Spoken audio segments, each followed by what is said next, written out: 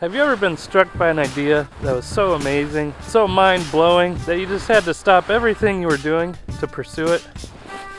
Well, that's what we're gonna do today.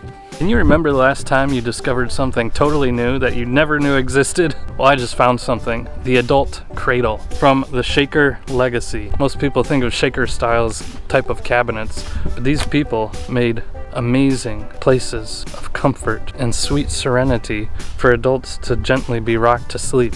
And I want to experience that. so join me as we go back in time to discover what the Shaker Legacy is all about. So the first thing I gotta do is find some wood. I'm at my suppliers and we'll see what he's got in stock. And uh, when I say supplier, I mean my dad. Because he mills a lot of wood for fun. Uh, let's see what he's got. This is my stack of maple from the trees the city cut down in my yard. He's got a lot of poplar here. He's also got a ton of red oak. Got a nice load of pine, nice and flat, not very knotty. It's cradle time. Let's get this thing going. I'm super stoked. I'm gonna first run these boards through the jointer, then the planer, then the table saw, get them nice and flat and crisp and ready to go. Let's get it done. Let me just say, these boards I got are amazing. They're pine, but they're from a tree that was like 60 years old, and they're so straight. This is a 1 by 12 Look how flat that is. And it was free to me, so let's try and make the best cradle we possibly can.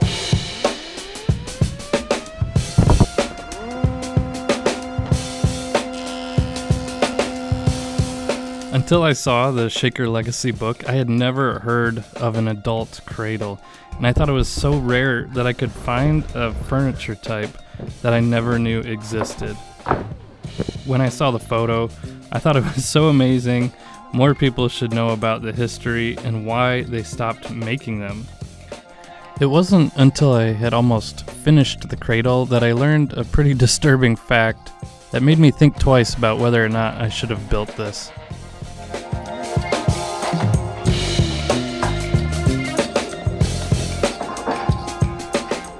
I also realized there's a fatal flaw with the logic behind the design of these adult cradles, which I'll get into more near the end of the video.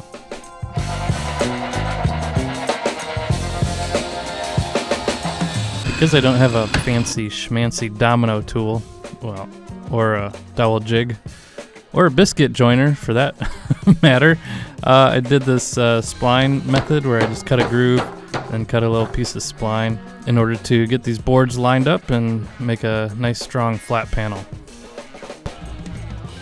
In regards to the cradle, the book says, quote, the Shakers recognized the sleep-inducing benefits of rocking motion for both children and sick adults. The Shakers were a religious group that was around in the 17 and 1800s, and the cradles were actually their form of a hospital bed. They also believed in celibacy, so the adult cradle seemed to be almost just as common as a baby cradle. Okay, day two. I didn't get finished all in one day, obviously, so hopefully I can knock it out today. I had a long work week with my architecture job, but I'm ready to get back at it and get this thing taken care of.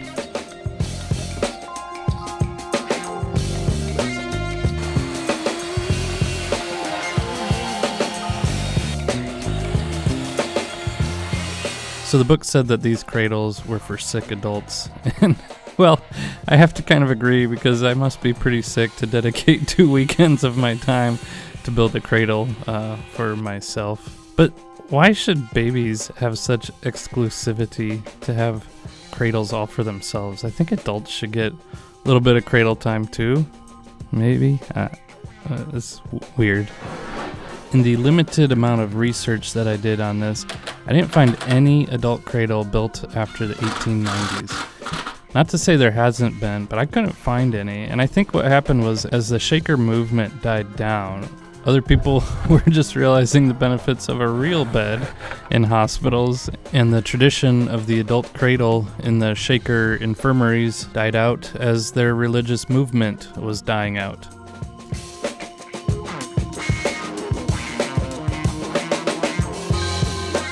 One of the things the Shakers believed in was living a pretty simple life, and that was reflected in the design of their furniture. So, building this out of pine and using butt joints is actually pretty in line with the way the shakers were actually building these.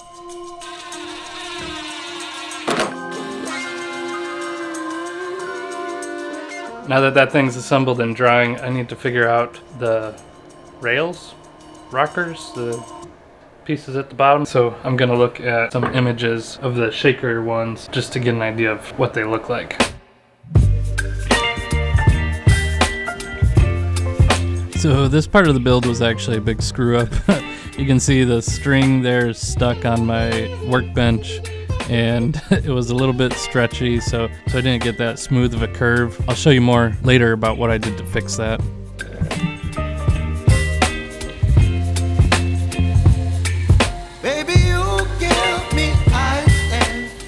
So if I'm trying to smooth out a curve like this, what I'll do is I'll route the edges first because it creates less material here so it's easier to smooth it out and then I'll go back a second time and route the edges again. Having less material up front here lets me get through this a little bit faster and get a nice smooth curve.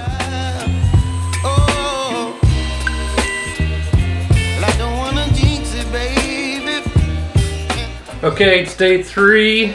I haven't been able to spend a lot of time on this, been busy with work. Even on the weekends, I only get about four hours a day typically to work in here. I think all I have left to do is put the rockers on, a little finish sanding, and then put finish on it, and we will be good to go. But we're gonna bust this thing out. We're gonna get rocking. It's gonna be awesome. Let's go.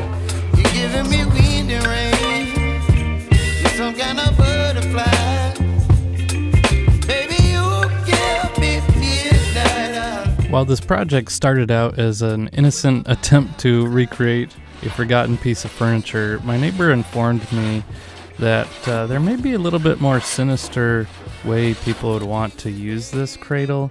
And I'm not going to get into that. you can look it up on your own, but it is uh, definitely not what I intended uh, when I set out to build this. But the shakers were right.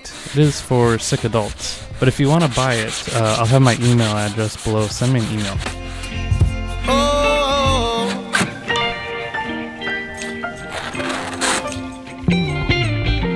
Alright, hold up, hold up. I was gonna paint this thing blue because I wanted to feel manly as I was rocking myself to sleep in this cradle. But then I thought, I'm a man building a cradle. I'm confident. I don't need to paint this thing blue. So I'm gonna scratch that idea, keep the natural look, keep that coffin kind of pine box look. The Shakers wouldn't have painted it blue. I'm just gonna give it a clear coat. For the finish on this thing, I'm going nice and simple with this water-based polyurethane.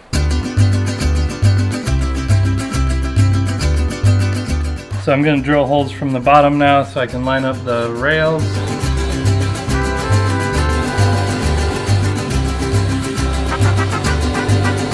Okay, the moment of truth. I'm to put it on the rockers for the first time. Let's see if this thing works.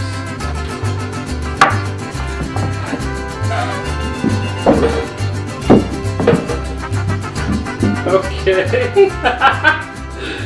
oh man. Yeah, I think it's gonna work. That's really rocky. yes! Look at that thing go! Oh, that's gonna be fun. It's pretty stable. It doesn't uh, feel like it would tip over, but it's definitely got a good rock to it. And you know what the Shakers said? If my cradle's a rockin', don't come a knockin'.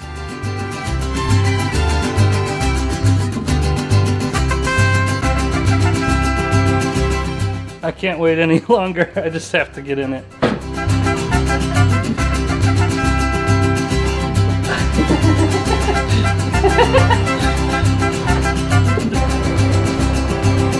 Mm, that's nice. You definitely wouldn't want to do this if you were drunk. yeah. Now I gotta get it inside and get it all fitted with some foam padding test it out on the ground, see how it works. So it doesn't actually rock super well. I need to redo these rails and give it less of a radius so it rocks a little bit better back and forth.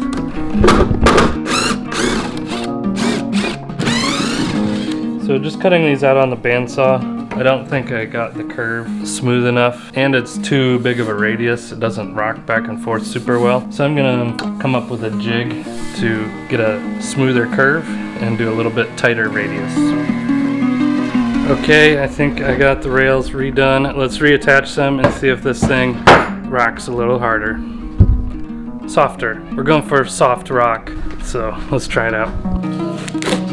So the fatal flaw with this furniture is that cradles are designed to be airlifted in and out of. And so if you're sick, uh, if you haven't died of consumption, you're gonna definitely split a stitch trying to get out of this thing. So before I do the final shots, I did want to say one thing I think I could do better. The cradle turned out awesome and it's so smooth, so nice. I love rocking to sleep. But if there's one thing I still want to do with it, I want to make a self-rocking mechanism because I'm a man. I don't want to rely on anybody else to rock me to sleep. I'll figure out a way to do it myself. Part two? It's okay. I'll rock you to sleep. You know, it's not perfect, but things don't have to be perfect to be wonderful. Well, if you guys enjoyed this content, please consider hammering that subscribe and like button. I have a lot of other fun builds coming up. Thanks for watching. Y'all are awesome. Now get out. Rock me, mama, like a wagon wheel. Oh my gosh.